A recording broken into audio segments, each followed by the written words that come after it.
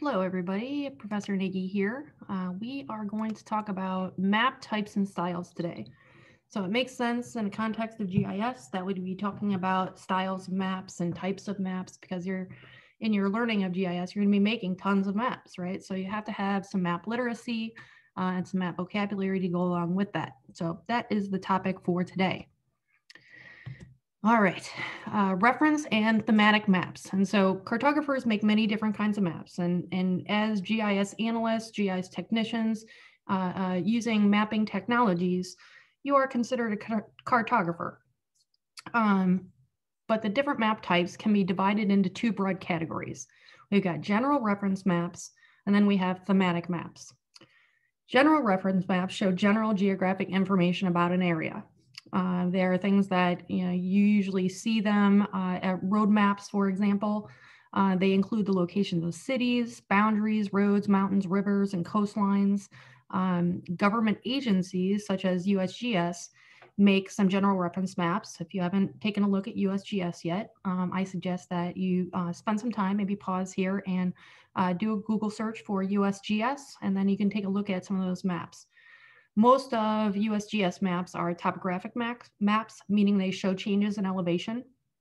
Um, I'll, I'll, tell you, you know, kind of dating myself here that uh, before GIS became widespread, um, I would have to go up to the uh, USGS store. Uh, it was kind of like a an associate bookstore on campus, and that is where we would go. Uh, my background's in urban planning, uh, so we would have to go to the map shop um, and pick up uh, USGS maps all the time to do our work because we didn't have the capacity to be able to use GIS like we have today.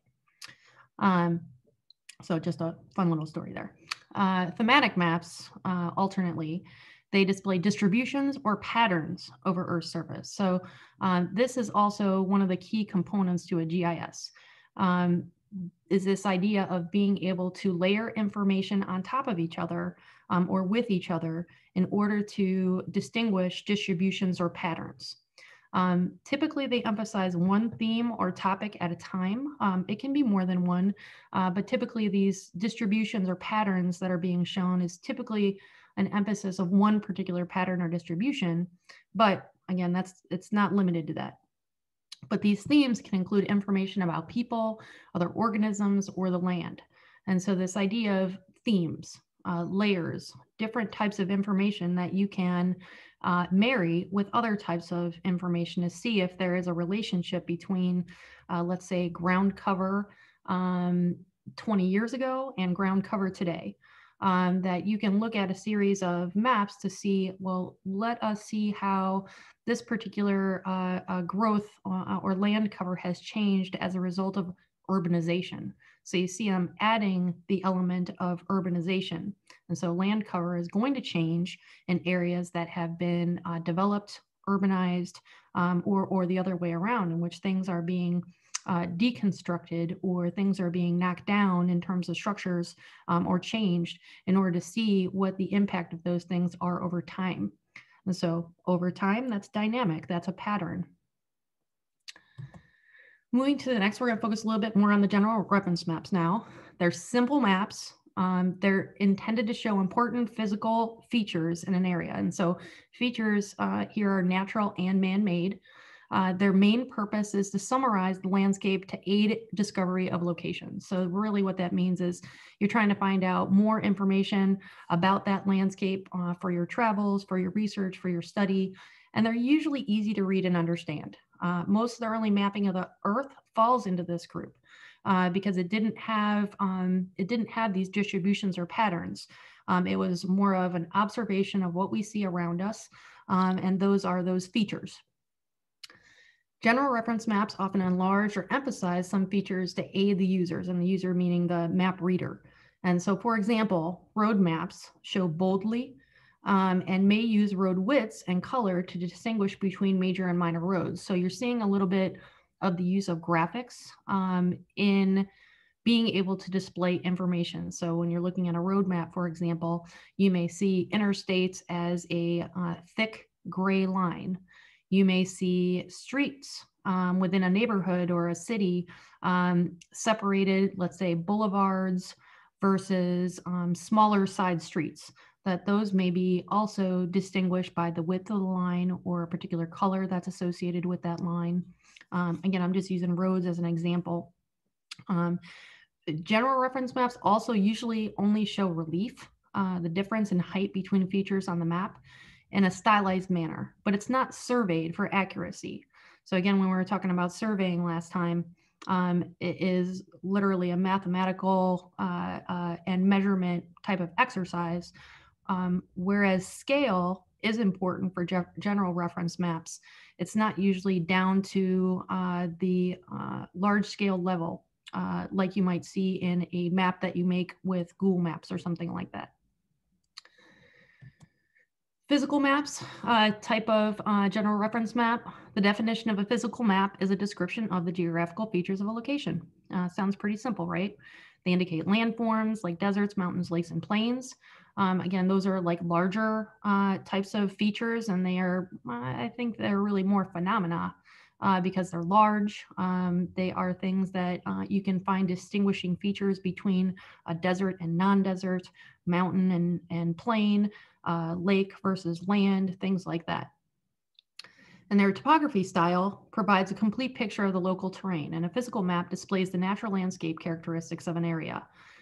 Again, this is um, natural landscape, and that's that's typically associated with a physical map. Um, there really isn't a lot of information, like let's say how many buildings are on this street, or um, there may be something significant like a landmark uh, or something historical, but typically it's not about what has been built um, and what those uh, the man-made features on top of the natural features. Topographic maps. Um, it's not like a physical map because it indicates different physical landscape features. They show the true lay of the land, including streams and these other natural elements, but they also display important landmarks and roads. Um, where I'd mentioned that there could be a landmark in your physical map, they're typically uh, you see more of those uh, kind of distinguished individually on a topographic map. Um, and they're, they're different because they use contour lines rather than colors so showing changes in the land. And so contour lines um, are elevation changes. Um, and the closer the lines are together, the steeper the terrain, the farther those topographic, uh, those elevation lines are, the uh, less uh, uh, significant of a slope uh, is happening in that, in that area. Um, you can use these maps for a variety of reasons. Um, typically, we use them for camping, hunting, like leisure activities, um, but you can also use them for urban planning, resource managing, and surveying.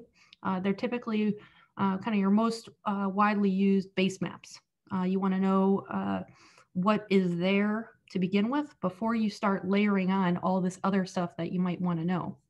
And so um, a, a, general reference map, a uh, physical map, topographic maps, um, these are um, eh, not so much in Google Maps because you can't see elevation um, in Google Maps, but um, they are typically more physical maps. However, they do include, um, and it's scale dependent, more uh, man-made features.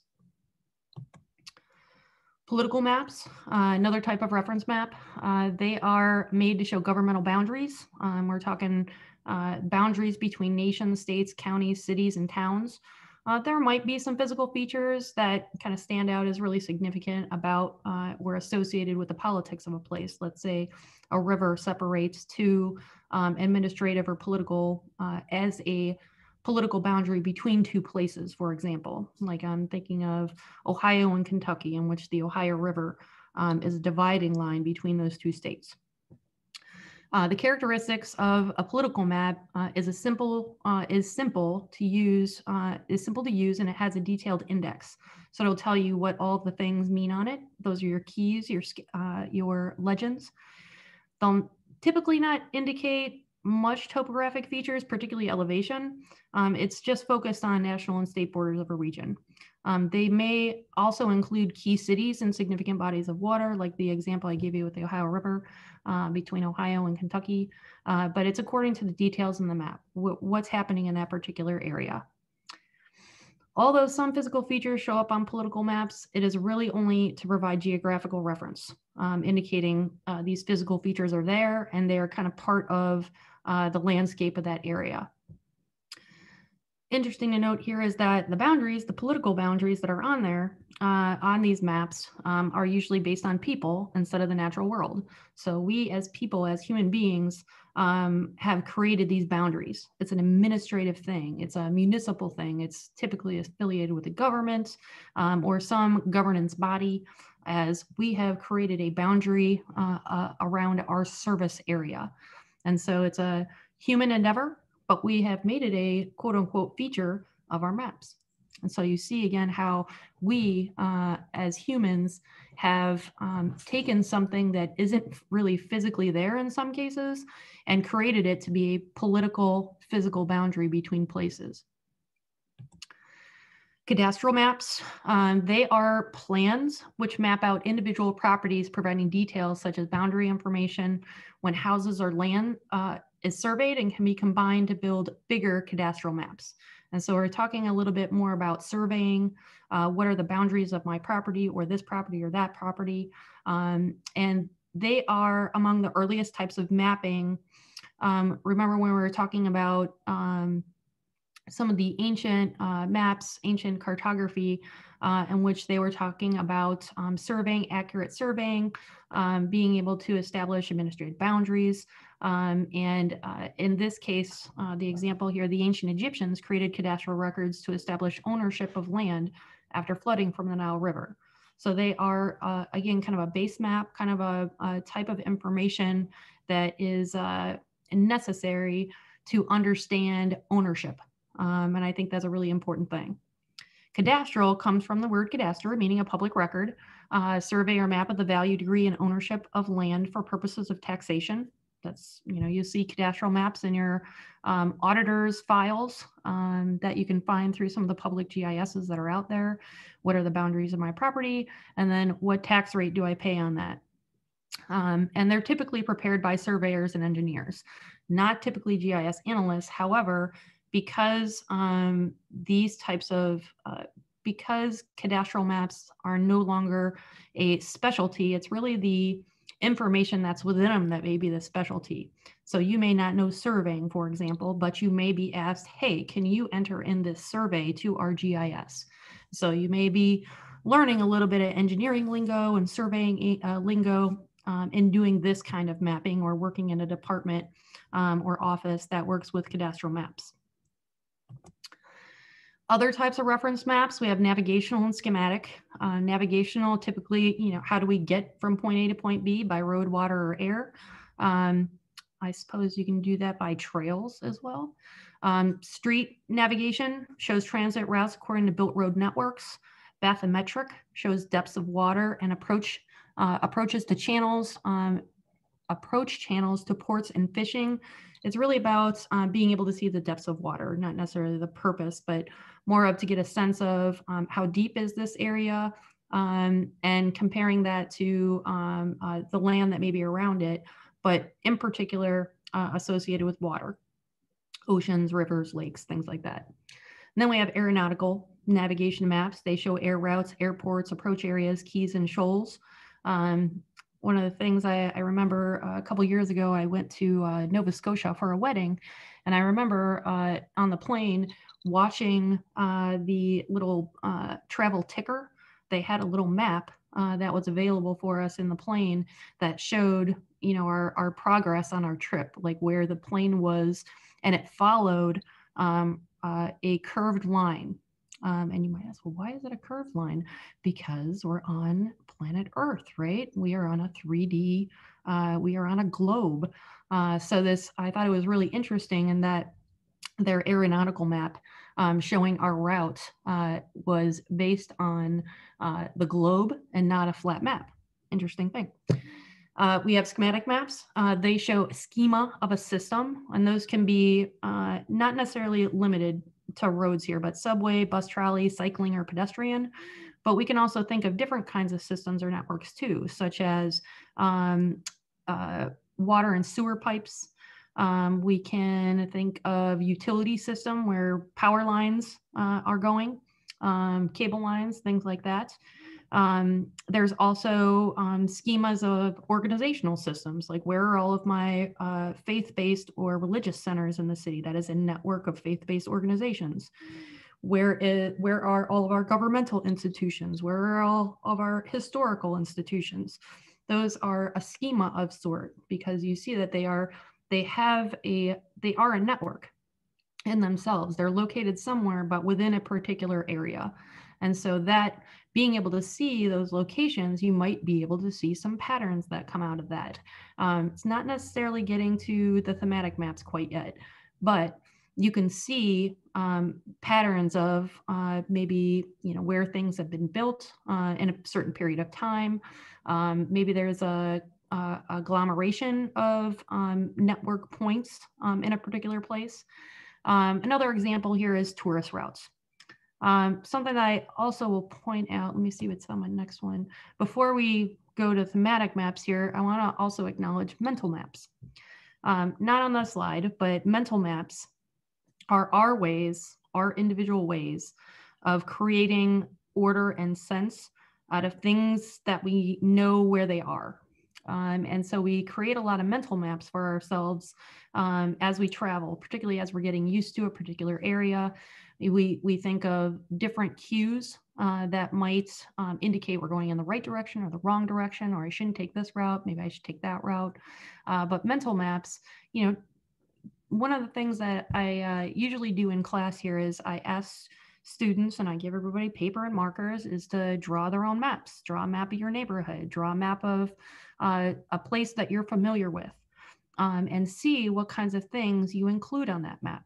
They may not be the same kind of things that are on the Google map or the Bing maps or whatever mapping platforms that you have.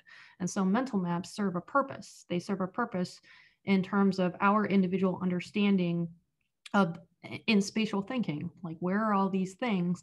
How close and how far? Are they tall? Are they short? Um, what's the orientation? Are they facing east west north south?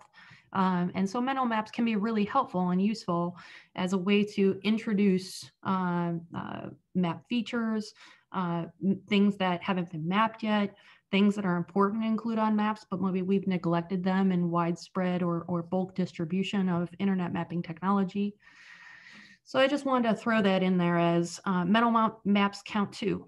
Um, they're not necessarily thematic until you make them so, but they're typically some sort of reference map in your mind um, that makes sense of geographic information um, that's important to you. Now on to thematic maps. So these are maps which depict information on a particular topic or theme. Again, this idea of um, distributions, patterns.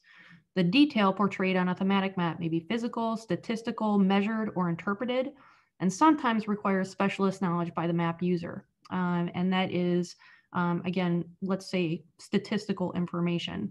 Um, one of the things before you move on to GIS methods, I believe um, you have to have a basic statistics course. Um, and that is so that you can um, use your statistical knowledge in map creation. So if you were showing, let's say, percentage population change um, over 10 years, you have to have some background in statistics to be able to uh, understand that and be able to convey that through your maps. And so that the user, the map reader, can understand what you're doing. In a typical stylized thematic map, the map itself is secondary to the information being supplied. And so the intent is to quickly give an impression of relative differences and the detail being supplied as tables within the map. This is something that you're going to see within the GIS is that there is the map, the graphic map interface where you see like the colors and the shapes and the, size of different features. But in the background, there are tables, um, a lot like Excel tables. Uh, they're not Excel, they're just generic database tables. But that is how we capture attributes of those things. Um, and when we get to when you get to the software, you're going to see some examples of this, and you're going to I'm going to refer back to do you remember when we were talking about um, details um, of information? I'm going to refer to this. The number of themes is really limitless, uh, but the theme must have a geographic unit by which it's measured. Um, example here, population density, crop growth, voting preferences, they all have a geographic unit by which to calculate or compare. And those geographic units can be determined by you, but they can also be determined by our political maps and those political boundaries. So what is the uh, where's the boundary of um, our uh, Cuyahoga County um, and uh, where does it stop and where does it start? Um, if you're counting things within the county, then that county boundary is a container in which that information falls within that container. And how are you describing the information that's included in that container? Um, there are lots of different ways to do it, but the way that you do it within the GIS is typically by way of the attributes that are associated with the graphic. Um, so the tables in the background and the graphics in the foreground.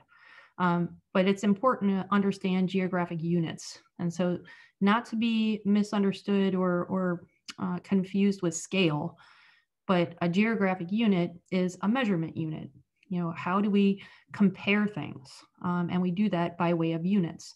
So if we're comparing um, Cuyahoga County to um, Lake County, for example. Those are two different geographic units. Not to say that there is going to be any significant difference in the type of data that may be displayed or studied within those units, because we can look at population density county by county. We can look at crop growth county by county. We can create our own boundary. Maybe you don't want something at the county level. Maybe you don't even want something at the municipal level. Maybe you have an idea for this specific unit, this area, this geographic area. I'm going to create my own district on this map. I'm going to draw a square or a triangle or some sort of shape that becomes my unit of measurement.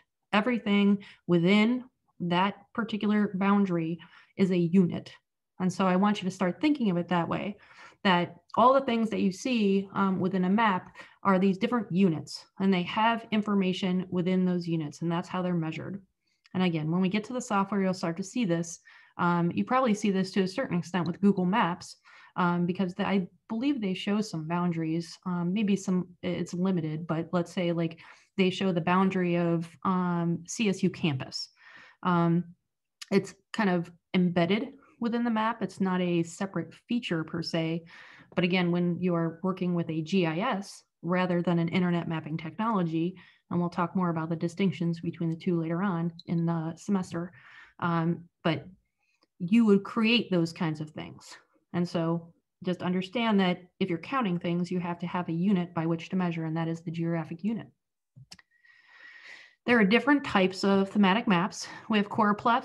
Uh, most popular, um, uh, those uh, choropleth maps are what we see a lot of.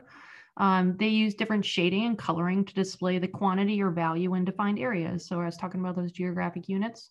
So let's say population density um, is higher in one particular place than another. You would show that by displaying that information um, as a changing color uh, different colors associated with different values, for example. Um, often the case, the map maker uses a type of data classification to produce its own choropleth map. Each data classification method impacts the reader differently. We'll talk a little bit more about data classification schemes later on. Um, it's best used when data are standardized, um, uh, such as rates, for example, or percentages.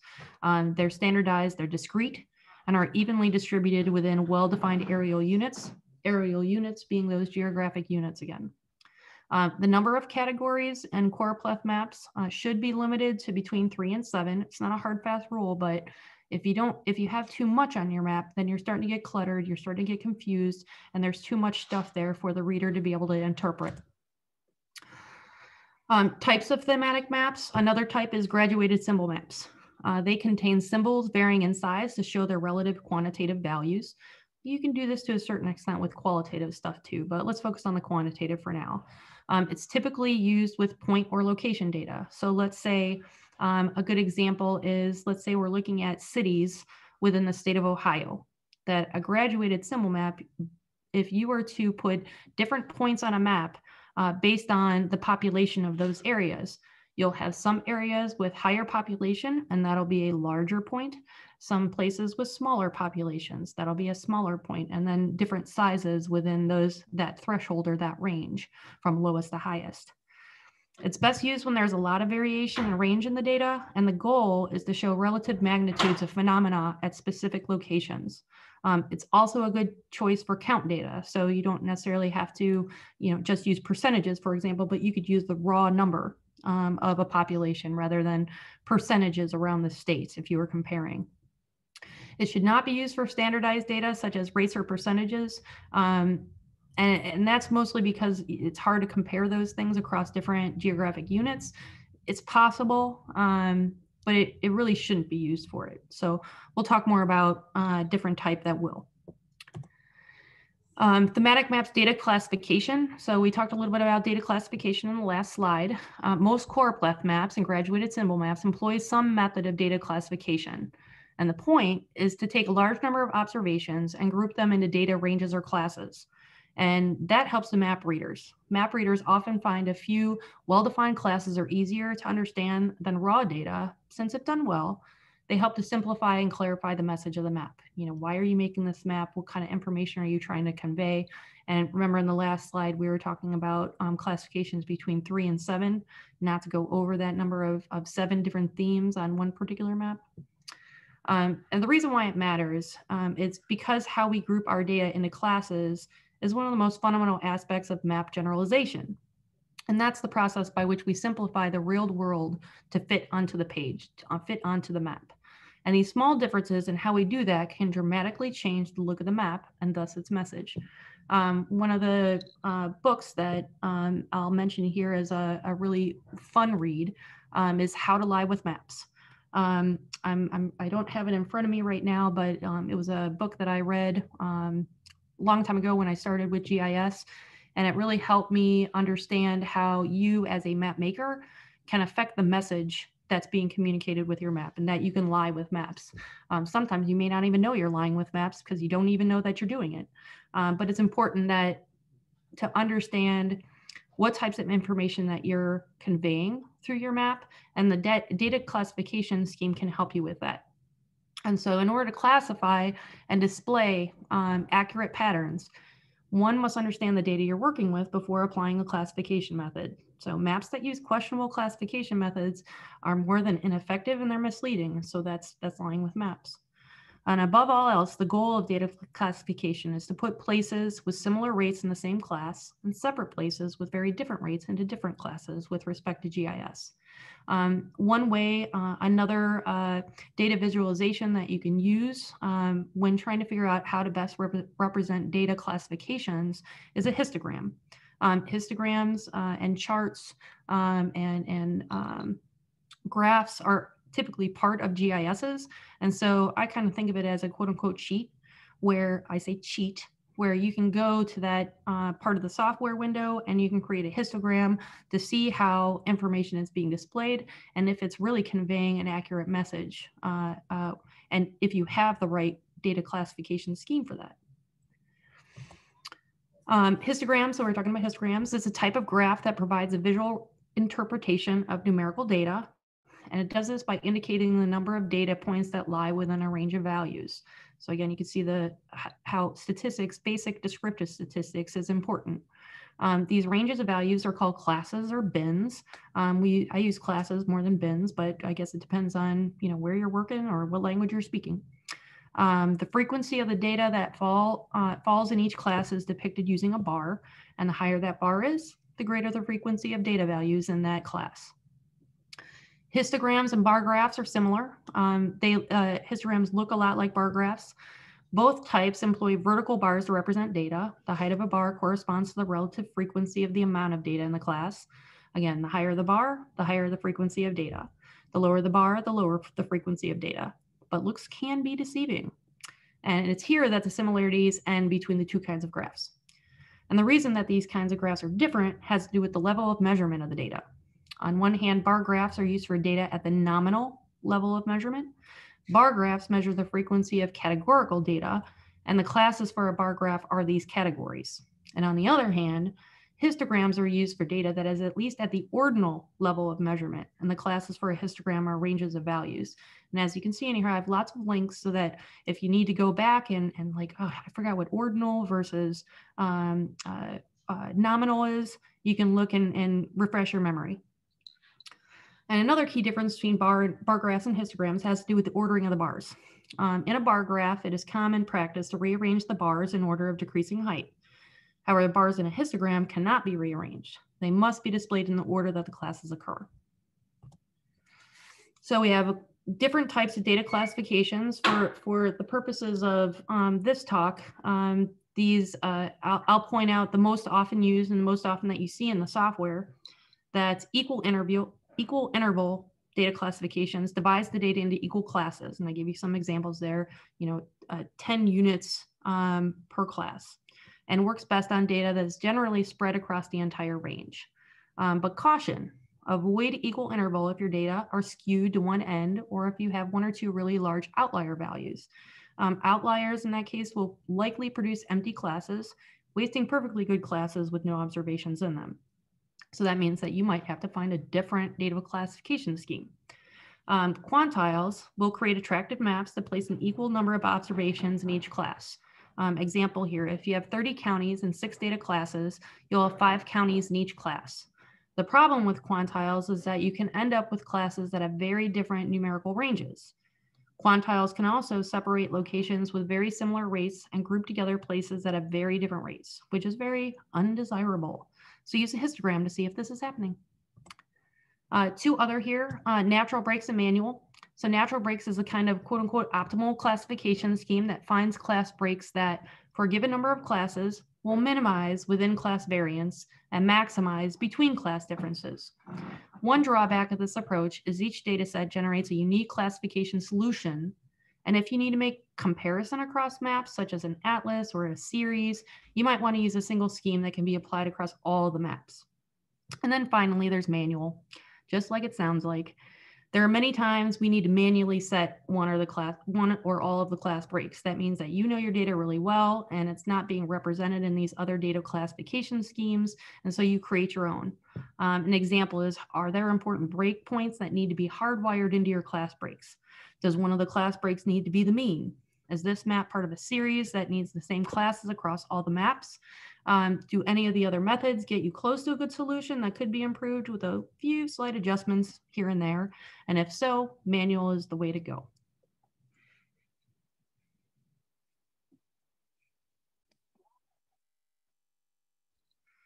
As we talk about these types of data classifications and uh, data ranges and units of measure, now you can see why intro to data analysis is a prerequisite for the course. So Types of thematic maps. Uh, another types of dot map. Um, dot maps show the presence of a feature or occurrence and displays a spatial pattern and relative density. Individual dots can represent a single or multiple occurrences. Um, one way to describe this on a dot map um, is thinking about um, an easy way to visualize this is where um, you have an apartment building. An apartment building may have just one address. Um, it is a single building, but it has a number of units within it. And so you have the option of placing a dot uh, to represent an address, um, but that one address could have, let's say, 15 apartments uh, associated with it. And so that's a good way of thinking about uh, kind of how this idea of dots can represent single or multiple occurrences. Clearly, that's not density. I mean, yes, an apartment building is a dense uh, uh, housing, but in terms of like population density. Um, but this gives you kind of an idea of how that looks. It's best used for count data, like the example I just gave, and it can show multiple data sets by using different symbols or colors. Requires additional tools sometimes to locate dots on the map. That's called geocoding. We're not going to be doing uh, batch or large geocoding as part of this class, but geocoding is literally any place that has a location on the surface of the earth you can represent with a point. And so geocoding is literally finding a point to match all of those locations. Um, you could have a point to represent um, every single um, XY coordinate. Uh, think of it in terms of addresses though. So you have a ton of addresses or a ton of XY uh, coordinate locations, and you want to put all of those on the map. Geocoding is the process to do that. Perceptual issues as well as design techniques such as dot size, value, and arrangements should be considered in this, but when we start to make maps, you'll be able to see some of these things. Um, other types of thematic maps, uh, one, one additional example is an isopleth map, um, and it's a contour map that depicts smooth continuous information. Um, and continuous information is opposite from discrete. Discrete means that it has a pretty uh, straightforward end or boundary. But when things are continuous, phenomena like weather or pollution, there is not a clearly delineate, delineated boundary of that. Now, you could um, be able to delineate um, rain clouds from non-rain clouds and that that may be discrete but it's always moving right? Clouds are always moving. And so that is why it's con considered continuous data. These data points are depicted using lines that connect points of equal numerical value. Um, isopleth maps they serve as an effective method for highlighting spatial patterns in the data as opposed to dep depicting discrete rates per enumeration data so like that example of uh, uh, let's say population that's a discrete thing, population within a particular area. But let's say pollution in a particular area, that pollution doesn't stop right at the boundary of the county. Um, it may decrease or increase, and that's what makes it continuous. Uh, does it end somewhere? If we're talking about air pollution, no, it just keeps getting smaller and smaller and smaller and smaller. It Doesn't ever go away typically requires understanding of various interpolation techniques. And interpolation is where you kind of um, not guess, but you are able to find kind of a, a middle ground uh, between things. So point A and point A and point B, uh, you're trying to find the middle of point A and point A and point B. And interpolation allows you to do that. Um, you can probably do that mathematically in your head, like what's what's the literal middle point between these two uh, uh, beginning point and end points. But interpolation is a mathematical way to do those things. Another type of thematic map, excuse me, is a cartogram. Um, they're also known as density equalized map projections. Um, they use the spatial geometry of each mapped area and that which distorts to depict an attribute other than land. So some of those things that are, again, patterns uh, or distributions population and income are listed here. Cartograms exaggerate the size of the geography proportional to the statistic being shown. And specifically, the variable substitutes um, land area or distance, and they distort our view of mapping by breaking the golden rule, sacrificing geometry to convey information. Um, it's I have optimal uses here. Um, it's best accompanied by description of mapping techniques um, and it can be constructed manually or digitally. You can do it, you know, by hand or digitally. Um, uh, one of, uh, I was trying to think of something, but I, I forgot what it was. Uh, design considerations, and the methods are complex and interpretation can be difficult. So that's something to keep in mind with a cartogram. Um, not used as, as widely as some of the other thematic map types, but again, just another example is cartogram. Um, different kinds of cartograms. We have density equalizing uh, cartograms. They're your traditional cartograms. And density equalizing cartograms map features bulge out um, a specific variable. Again, that exaggeration of something. Features in non-contiguous cartograms don't have to stay connected. Um, they can freely move about from adjacent polygons and be resized appropriately. And because they can freely move around, the shape remains intact for non-contiguous cartograms. The main difference between density equalizing cartograms is that it moves each feature's centroid to avoid overlaps. So the centroid is the middle of that feature. Um, you can mathematically calculate the middle um, of a unit, a geographic unit um, or feature boundary, um, and you do that to avoid overlaps. Um, one example, uh, uh, most widely known cartogram is the Dorling cartogram, and it uses shapes like circles and rectangles to depict areas. So uh, let's uh, imagine, well, one of the things I'm, you're going to be doing some assignments in which you look up different kinds of maps. So um, I'm not giving you a lot of visuals here because I don't want you to use the visuals in the map for your assignment, but the types of cartograms make it easy to recognize patterns. Um, it doesn't maintain the centroid and shape, and this means that readers may have difficulty understanding features in the map, which is one of the reasons why really uh, it's not used widely and widely dis dis uh, disseminated mapping because sometimes the interpretation of the map creator is different from what's being expressed in the map to the map reader. Uh, another type of thematic, map is a flow map.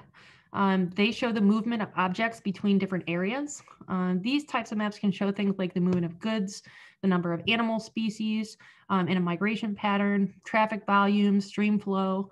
Um, they can also show both qualitative and quantitative data. A lot of people like flow maps for that reason.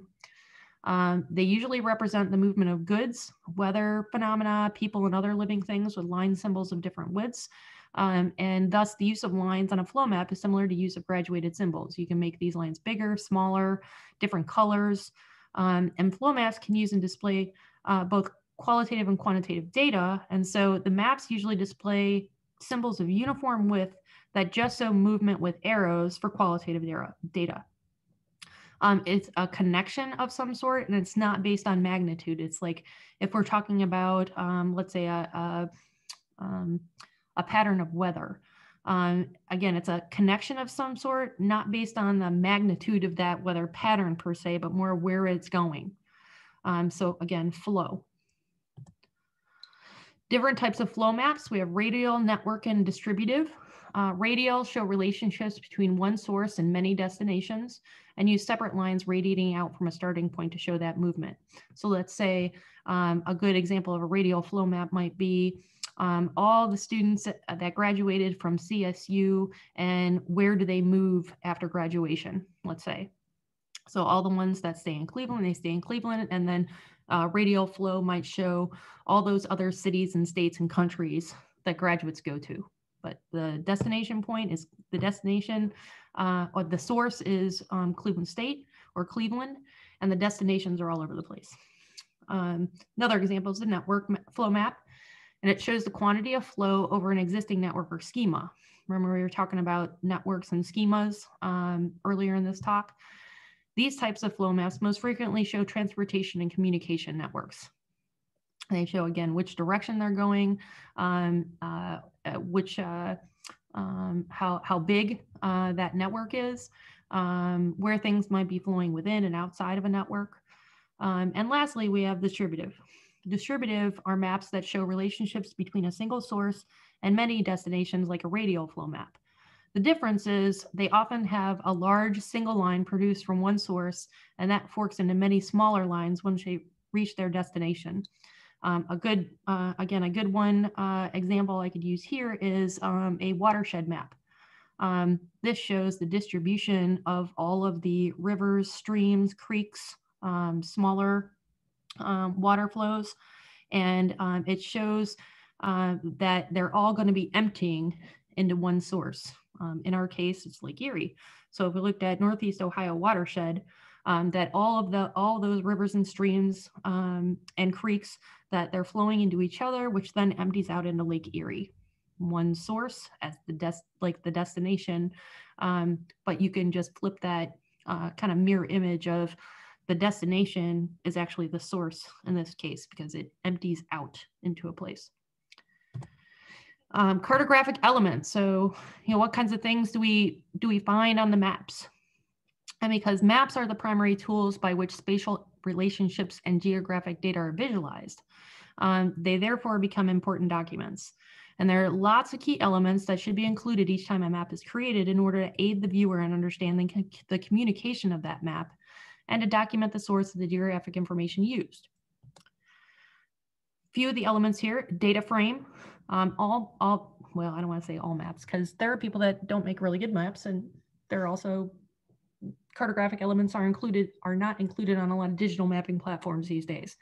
GIS is a little bit different, but when you are looking at something on a screen, that's different from looking at a prepared map.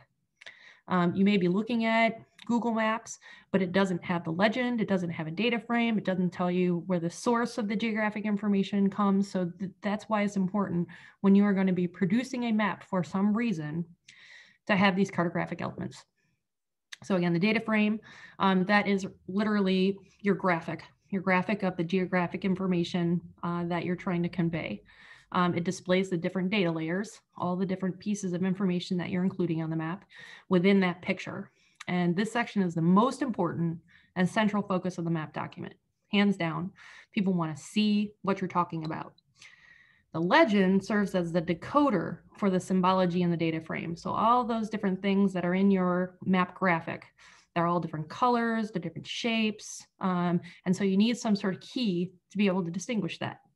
Um, the key or legend provides that description detailing the colors, symbols, um, or categorization um, of your data classifications, for example, is put in the legend.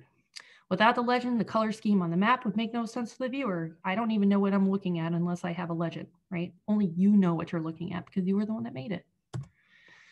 Some other elements, title is important because it instantly gives the viewer a succinct description of the subject matter of the map. You know, what uh, the, the title quickly tells the viewer um, the subject matter and location of the data. Um, I have made a map and the map title is housing in the city of Cleveland. So I kind of know what to expect in that map then. We have a north arrow. The purpose of the north arrow is orientation and for the viewer to determine the, the direction of the map as it relates to due north. We're used to seeing maps made in which due north is on the quote unquote top. Um, most maps tend to be oriented so that due north faces the top, but there are exceptions to this and having the north arrow allows the viewer to know which direction the data is oriented. I mean, it's possible that north isn't going to be at the quote unquote top um, of your map, but most of your maps and most mapping platforms these days, including GISs, orient it that way. You can manually change those things, but from a basic, uh, basic point of view, most of the time your north arrow is going to be on the top or your north, uh, the direction of north is going to be towards the top of your map. So compass, um, compass rose. Um, now for more cartographic elements. Um, scale, big deal, explains the relationship of the data frame extent to the real world. Scales are ratios. Um, it can be shown either as a unit to unit or as one measurement to another measurement. Therefore, a scale, um, in this case, therefore, a scale showing a 1 to 10,000 scale means that every one map, one paper map unit represents 10,000 real world units. So what's on your map represents reality in this mathematical way. Um, for example, uh, 1 to 10,000 in inches means that a measurement of one inch on the map equals 10,000 inches in real life. I apologize, my dog might bark here. The, the, second method of depicting scale is a comparison with different unit types. Uh, for example, one inch to 100 feet means that every inch on the paper map represents 100 feet in the real world. This ratio is the same as one foot equals 12 inches. In addition to text representation as described above, the ratio can be shown graphically in the form of the scale bar. Um, those are, that's, that's what I do is I usually use scale bars more than anything. Uh, maps are, that are not to scale tend to have an NTS notation, which stands for not to scale. Um, mental maps, for example, rarely are they to scale because they're coming out of your head. Um, uh, not a lot of published maps have the not to scale notation. However, um, scale may be something that's not as important and it depends on what you're mapping. But just the explanation of scale, I think, is important or the uh, discussion. Sorry about that. I'm going to pause for a minute so that this isn't. All right, sorry for that interruption there. More cartographic elements. Um, the citation portion of a map constitutes the metadata of the map. What is metadata? Metadata is data about data. It's the area of the map where explanatory data about where ex explanations about the data sources and and all these other geographic uh, representation information um, are placed. And just like you would be creating citations if you were writing a paper, we also have map citations, which help the viewer determine the use of the map for their own purposes. Um, so if, um, you know, when was the map made? Um, when were, what are the data sources? Where did they come from? Are they still available?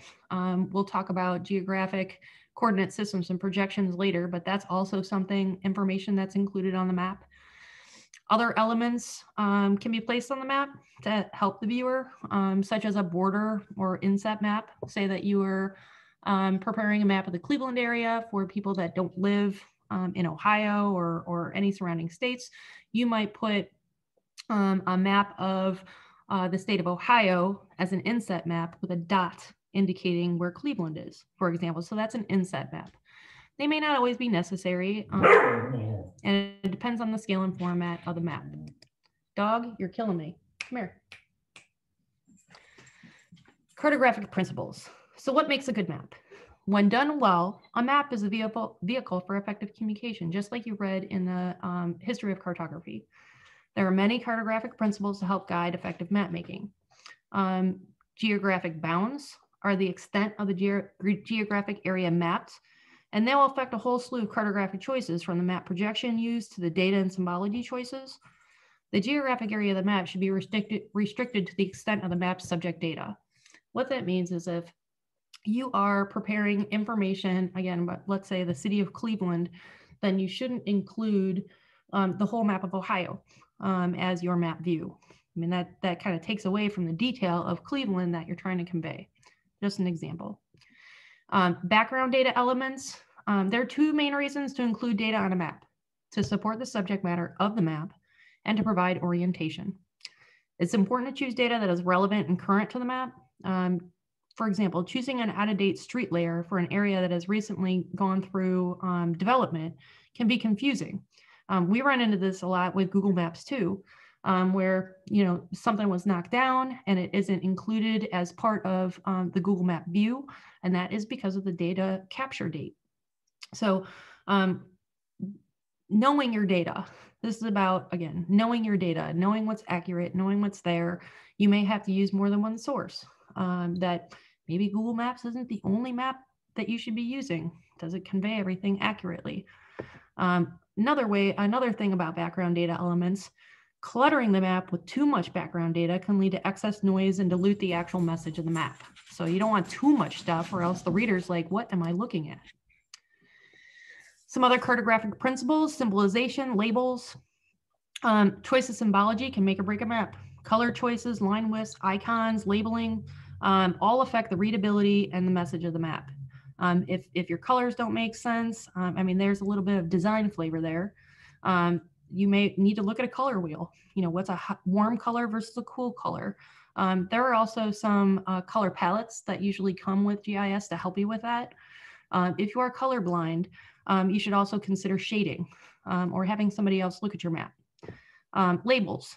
Now, while it may be tempting to label all features shown on a map, Doing so can get in the way of other things. So it creates a cluttered looking map and may create confusion. If you have um, streets labeled, names of buildings labeled, names of forests labeled, things like that um, at a smaller scale, that can be too much clutter. So labels should be used sparingly to identify important things. Scale may be a factor when deciding what to label, because if you have a um, small scale map, that is too much stuff to label. If you have a large scale map, that's more appropriate. So consider the intended audience of the map when selecting design choices. A map aided, aimed at children might involve brighter colors and less complexity, and a general audience map might involve the use of terminology. A map with a potentially colorblind audience should not use contrast, should not contrast certain colors, for example, like I'd mentioned about um, shading. Some other cartographic principles, we have map layout, locator maps, and peer review. Uh, map layout is a choice in map orientation. Uh, this is literally portrait versus landscape, which, which fits better um, in terms of paper orientation, size of paper, um, and the placement of the map elements affects the visual appeal of the map. Um, locator map. Um, again, this is kind of like the inset map. Unless the map is aimed at a very specific knowledgeable audience or is of a geographic breadth, such as countrywide map or global map, it can be helpful to include the smaller inset maps. Um, it helps the further orient the viewer in placing the geographic context of the map. Something that you may not be thinking of is important, but just like you have papers and you have proofreaders, you should also have proofreaders for maps. And so peer review. Another set of eyeballs on a map, especially an important one, should automatically be a part of your cartographic process. Peer review on documents is a common practice. I show my maps to other people like, do you need, do you understand what I'm trying to say with this map? Um, I should say as little as possible and my map should speak for me. Um, I always show my map to somebody else. And I say, the color makes sense? Is there anything that is in the way? Do you get what I'm trying to convey here? And so I recommend this as a practice um, of showing other people just to get another perspective on what you're making. Always, what does this have to do with GIS? The output of a GIS is typically a map. Um, a lot of times you're going to be doing analysis within the system and may not be, be preparing maps for viewing, but the output of the GIS is typically a map of some sort. You include it in reports, um, you make posters, things like that um, for an audience. The creator needs to know what type of map best represents the information, so the types of maps that we talked about. The reader must be able to understand the information being communicated with few words. So again, using your um, symbology, using um, colors, using sizing um, is helpful um, in designing a good map. Whether the map is a standalone output all by, on its own um, or integrated into a full report or presentation, still the responsibility of the creator to produce a meaningful and accurate visual for the intended audience. Um, you can, you'll probably, well, I don't know if you will or not, but um, many of the reports and projects that I work on, I have to include a map of some sort, at least one. And so I do map preparation a lot. You'll find that you do this a lot too, and you'll you'll do it more um, when you're using your GIS skills in a project or um, at the workplace or something like that. But being able to produce maps, your boss says, "I need a map of the bus routes um, in Cleveland area." Sometimes you can find that without making it yourself, and sometimes you may find data in like five or six different places in order to make a map of your own. So anyway, Again, maps are the output that we see most often. You're not looking at just a, a mapping screen, um, you're looking at a product. And so because that is the output, that's why it's important to understand different kinds of maps, which maps convey um, different kinds of information, data classification schemes, how is data interpreted, how is data presented. And I mean, we use the word data a lot, but it's, I mean, it's representing information, right? And so a map product um, is typically the output and something that um, you should, uh, you will have as part of the software training in this is making a good output map. I think that's the last slide. It is. Um, so um, I look forward to talking to you next time with our next topic. And um, I hope that you're having a good day, um, having a good week, and I'll talk to you soon.